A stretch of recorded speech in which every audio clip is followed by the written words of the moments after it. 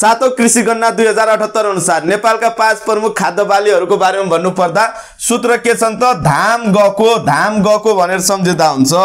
धाबाट धान मबाट मकै गबाट गहुँ कोबाट कोदो